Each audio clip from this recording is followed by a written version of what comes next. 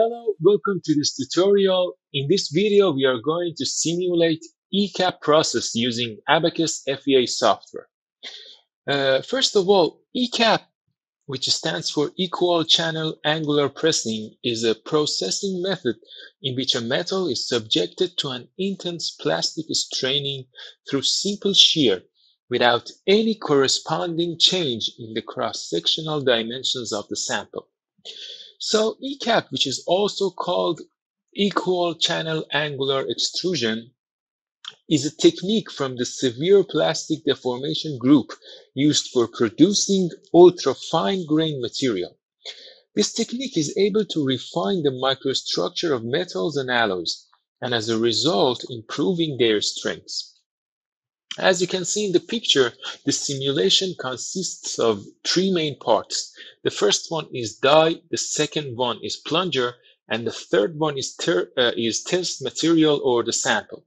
The plunger forces the test material to move inside an L-shaped path through the die, and this will cause the test material to experience severe deformations and the grain uh, and microstructure of this sample will be refined. As you can see in this picture too, the plunger is forcing the sample to move through an L-shaped uh, pass inside a die, and the pressed sample is out here. Uh, the pass angle should not always be 90 degrees and can be uh, variable angles too, such as mm, 18, 17, or more than 19. But in this simulation, we are assuming the path to be completely L-shaped. Uh, here are the dimensions we are using. As you can see, we are only modeling half of the uh, whole process. Uh, I mean, half of the geometry of the whole process, because this, this will cause the calculation and the cost of this simulation to decrease uh, and the time of the and the speed of the simulation increases.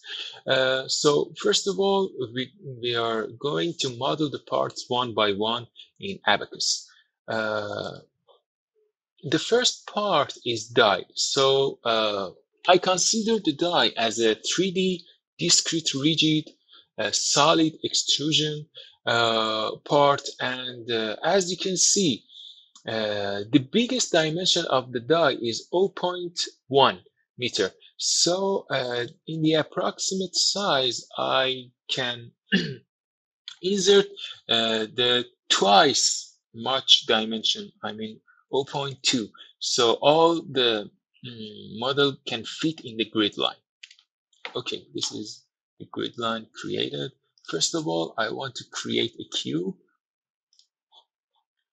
uh, it is 0.1 and the other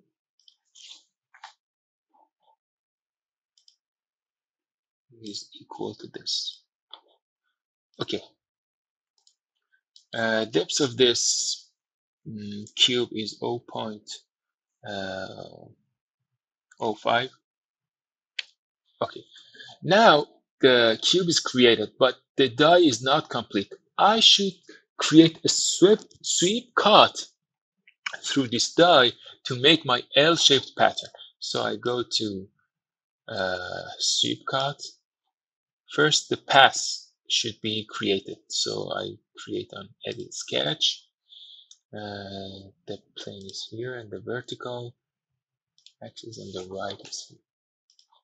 The L-shaped pass consists of, a, of two lines like this, which the first line is 0.03 far from this line and the same from this line. Okay, I will give it a fillet equal to 0.01 radius and the fillet is located in here. Done. The path is created and the direction is true, It is correct. Uh, next, I should uh, sketch the profile. Uh, this is the profile plane. Uh, my profile is a circle with radius of 0.01. Done. Okay, my profile and pass is created and I should uh, create my cut sweep. Uh, uh, the next component is the plunger. So we create another part, we name it plunger. It's a the 3D discrete rigid solid extrusion part, approximate size, let's be 0.2. Uh, my plunger is going to be half of a circle. So I will create this circle in this line. The radius of this circle is 0.01.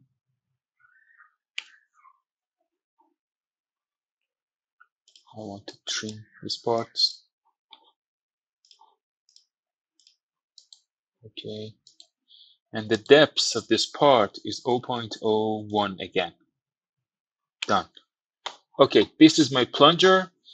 Uh, do not forget each of the discrete rigid parts or uh, you make, you have to assign a reference point to it. Uh, I will do it later. Let me create my other part, which is a sample.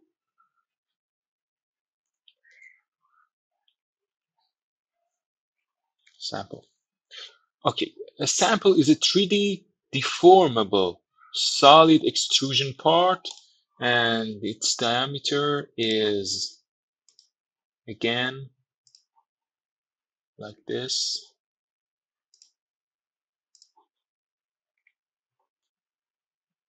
Trim this part and the radius is 0.01 and the depth is 0.05 okay this is my uh, sample. Uh, before I forget this let me go to my plunger. First of all I have to make it uh, shell so I go to shape shell from solid. Select cells to be removed done. And I will assign a reference point to this plunger I want my reference point to be features uh, I want my reference point to be here. Okay I do the same for die because it's another discrete rigid part. So first of all shape shell from solid selecting the cell done. And assigning a reference point to it. So it's not very important to me. I want this to be here. Okay, uh, next we go to property module to create our material property. So we have uh, our material uh, and uh, as you know, uh, I'm using SI metric dimensions. So uh, my length is, it's not bad to write here. My length is in meter. My uh, force is in force Newton, and so my pressure or strength stress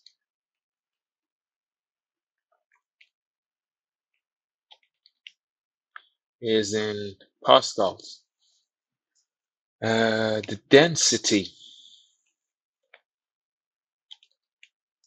is in kilograms per cubic meter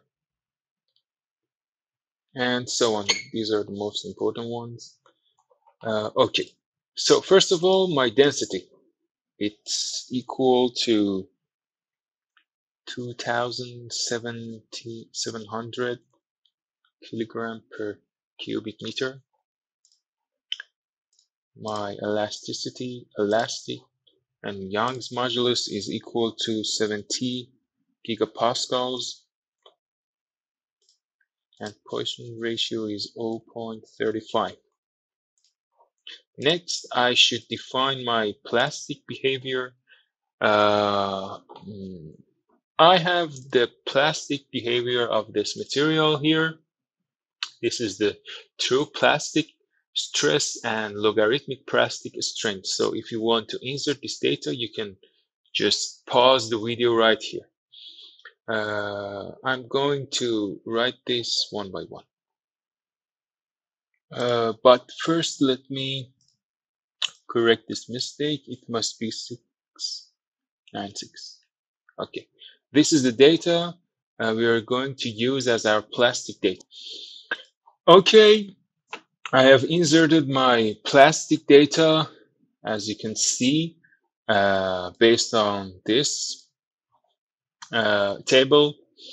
Uh, the next move uh, is to, okay, uh, create a section, section one, a homogeneous, continue material one, okay. And I want to assign this section to my sample. Creating set, done. Okay. Uh, next, I'm going to my assembly module and insert the parts I have created. I want to my instances to be dependent and auto offset. Okay. Let me see. Where's my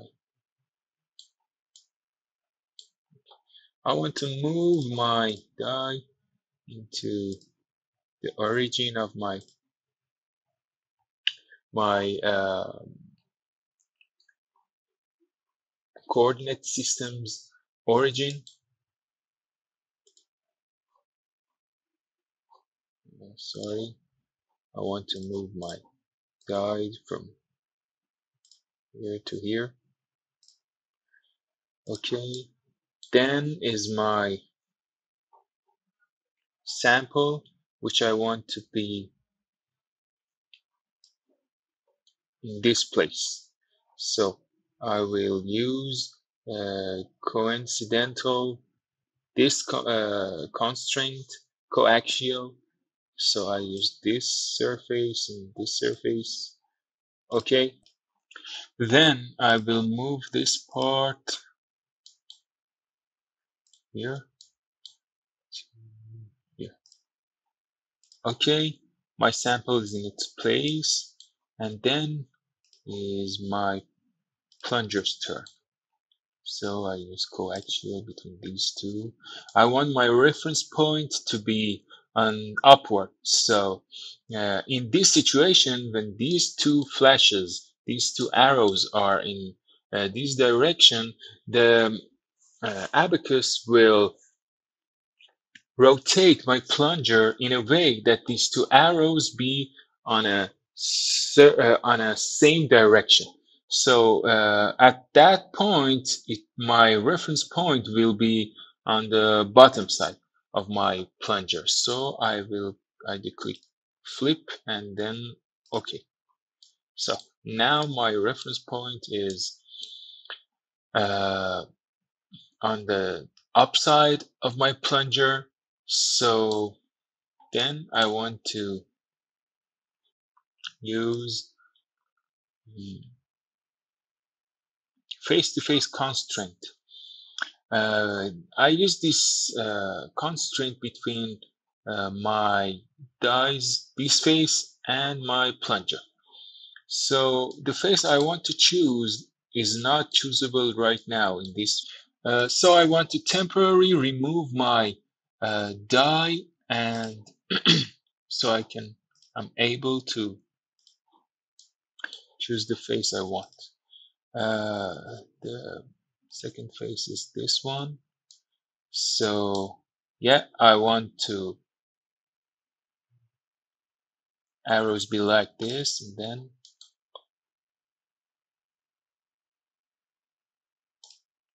Okay, uh, let me again define this first on this plane and then the datum plane is my yeah okay Okay, okay. Now, as you can see, my uh, plunger is in the right orientation and direction, but I just want to move it on the top of my sample. So again, I will disappear my die so I'm able to choose my plunger. Okay, I want to this point to come here. Okay, done. Uh, next, we go to step module and we create a new step. The step is dynamic explicit. Uh, the NL geometry is on and the time period is set to 0.5. I use mass scaling by factor of 100. Okay. Uh, because we have severe material deformation, our elements will experience severe distortions in which it will cause problems in solving. So for eliminating this problem, we will use ALE meshing theory. First of all, let me give you a short introduction to ALE meshing theory. ALE, which stands for Arbitrary Lagrangian Eulerian Adaptive Meshing, allows you to maintain a high quality mesh throughout an analysis. Uh, even when large deformations or losses of material occur, by allowing the mesh to move independently of the material. Adaptive meshing moves only nodes. The mesh topology remains unchanged. Adaptive meshing is available only for coupled temp displacement, dynamic explicit, dynamic temp displacement, explicit, soils, and static general steps. Uh, this is the definition of ALE meshing theory by the abaqus documentation itself. So uh, we create a, an ALE meshing theory by, we go to tools, uh, sorry, we go to other ALE adaptive meshing domain and uh,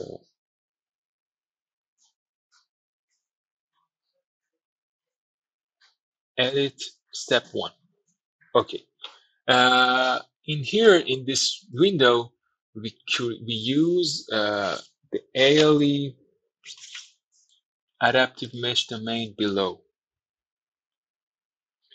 Uh, we select the region, which is our sample. Okay. Uh, in here, ALE adaptive mesh control, we create a mesh control. We name it ADA 1. Okay, we let the uh, defaults to be the same as it is. Okay. And the frequency, we set it to 5 remeshing sweep per increment to 3. Okay. Our ALE adaptive meshing theory is defined. Uh, next, we go to interaction and we create uh, an interaction property. We want to be contact, mechanical, tangential behavior, and we use friction coefficient of 0.08. Okay. And we will create an interaction. Well, I want to be general contact and with this interaction property. Okay. So next we go to load module. Uh, here I want to define my loads and my the boundary conditions. First of all, my uh, die should be assumed as Encastre. So I use this reference point and I will fix it with Encastre constraint. Okay. Then I want to uh, give the symmetric uh, constraint to my or symmetric boundary condition to my sample. Because the normal vector of symmetric plan is in uh, z direction, as you can see, the normal vector of my symmetric plan, which is this plan, is in z direction. So I will create boundary condition, symmetry, continue. I choose this plane and z-sim. Okay. And then I should define my uh, plunger's uh, displacement. So uh, I create again boundary condition, displacement rotation, continue.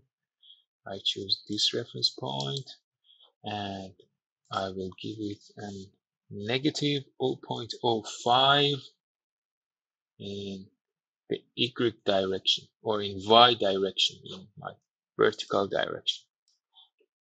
Okay. Uh, but before that, I should, because my step is explicit, I should define an amplitude. So I create amp1 tabular uh,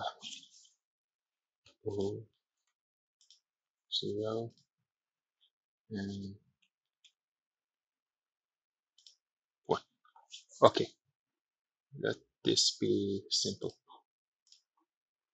Mm, I have not chose this amplitude. Okay. Uh, uh, so next is mesh module, but before that, uh, the plunger is only uh, able to move on the vertical direction. So for assigning that, I go to Boundary Condition Manager, click on BC3, which is related to my plunger, and edit.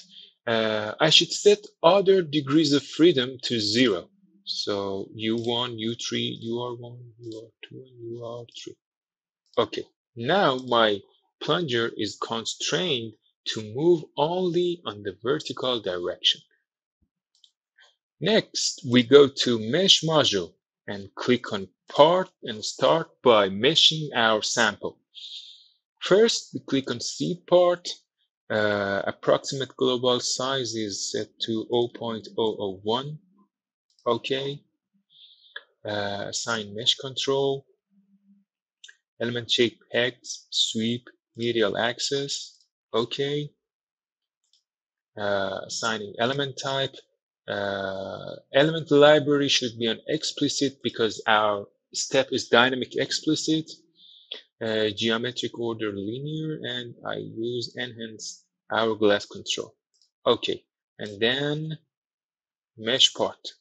Yes. Uh, 8,750 elements have been generated on part sample. Uh, next part is the plunger. Okay, uh, global size is set to 0.0022. Okay, mm, assign mesh control to this region, uh, quad, free and medial axis. Okay. Uh, assigning element type, standard, explicit. Okay, done. And then uh, next part is the die. Uh, for meshing this part, I'm going to use uh, this feature, seed edges, and I'm going to use the bias form uh, to seed the edges of my uh, die. This will um, give me uh, the ability to concentrate in some regions which are more important to me and to my simulation. Uh, as you know, here is the place where the uh, sample will uh, experience the most uh, stress and uh, deformation and distortions in all the elements. So uh, I want the elements in these regions to be very, very precise and to be very, very uh, small elements. So my simulation can be uh, solved and run. So first of all, I will choose seed part and global size is set to 0.002. Okay, this is the global seed parts, but in some places, I want my elements to be more concentrated. So I use this feature, seed edges. I choose this edge and this edge. Done. Uh, I use the bias single bias form. And by number, uh, number of elements I want to be on these two edges is equal to 15, 50 elements and bias ratio is set to 20. Uh, as you can see, these arrows show the directions of bias. This direction is true because I want my uh, concentration to be in this direction. I mean, I mean, most of the elements are here. But this direction is not true. So I click on flip bias. Uh, I choose this edge and done. Okay, the arrow has changed and now both of the directions are true. Okay, as you can see, it has made too many seeds on this edge and by moving on these directions, uh, the concentration of my elements and my seeds uh, are increasing. Next, I choose these two uh, edges, done, and uh, I don't want any bias for this. I choose number of elements equal to 40. 40 elements. Okay. Uh, done. Then I go to uh, my assign mesh control. I choose this here. Uh, it should be quad medial axis. Okay and assigning element type. Done. Standard explicit. Okay. Then mesh part yes. Okay. Uh, 18,695 uh, elements have been generated on my die part and as you can see the concentration is in this region which is very pleasant to me. Uh, so next is uh, our job module and we should create a job. So first of all, I create a job model one uh, because I want to, uh, I want my simulation to be done faster. I, I use parallelization. So I want to use multiple processors. I use four processor uh, and the job is created. I can submit and uh, run this job, but first let me do a data check. Uh, let me rename it as job two. Okay, data check.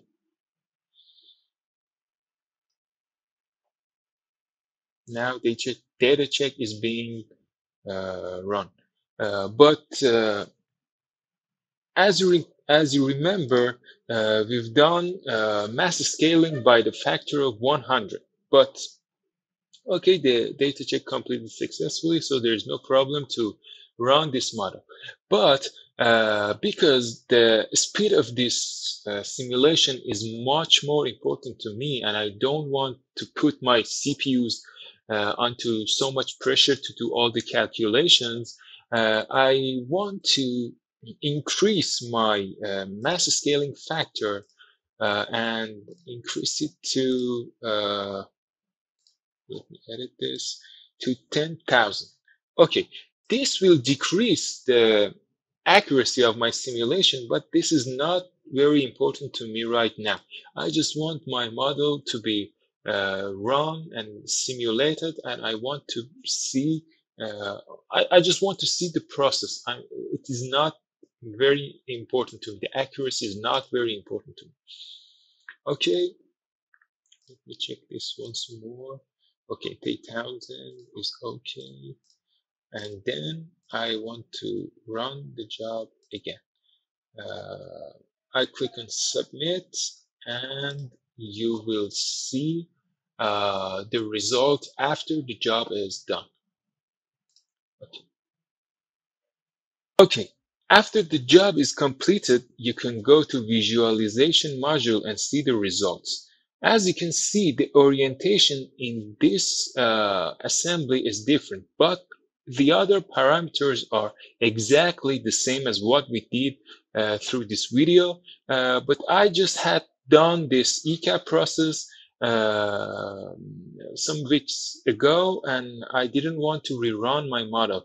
Uh, I just, uh, I'm just showing you the results of this uh, process. All the other uh, parameters are the same, uh, but the orientation which is different.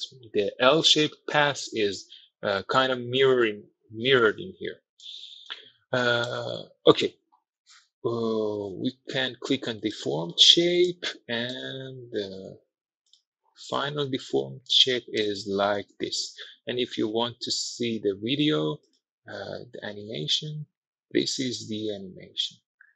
Uh, this is the ECAP process. As you can see the plunger is forcing the test material into an L-shaped pass and the um, uh, stresses are shown if you want to see the complete uh, form of this material test, uh, you can go through, uh, first of all, you should create a coordinate system, uh, CYS1, fixed system, rectangular, okay. Uh, select a point here on this plane. Uh, I, I'm selecting this point, okay. To bring XY plane, uh, okay. Uh, the coordinate system is created as you can see but I think it is kind of uh, oriented oriented orientated. So uh, first of all I delete this coordinate system and create a new fixed coordinate system. One uh, point to be an x-axis it wants the point to be an x-axis. Okay this point is true. On x equal plane uh, this point is true. Now it is not oriented anymore. Okay then we go to uh, viewport view ODB display options, mirror pattern, and mirror CS mirror uh, coordinate system is this one which we created. And the mirror plane is set to this plane I mean this plane which is x equal plane. Okay apply. Now the model has uh, mirrored. So I just want to see my sample.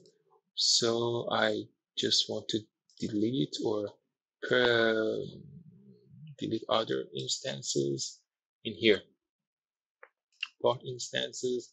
I just want my uh, billet. Uh, in, in, this model I've named it as billet or the sample. Uh, I want to replace just this billet replace. Okay, as you can see, this is my billet. Uh, and the final form is like this. Uh, okay, guys, I hope you enjoyed this video. Uh, I tried to um, explain all the steps, I, all the steps I go and all the you know, parameters I choose. Uh, so I hope you can uh, run this um, simulation step by step as what I said. Uh, again, just as what I said. And uh, if you have any trouble, uh, just let me know in the comments. Uh, and uh, I would appreciate it if you like and subscribe our channel for more um, videos like this, more tutorials of Abaqus and uh, maybe even other applications. Thank you very much. Have a good time. Goodbye.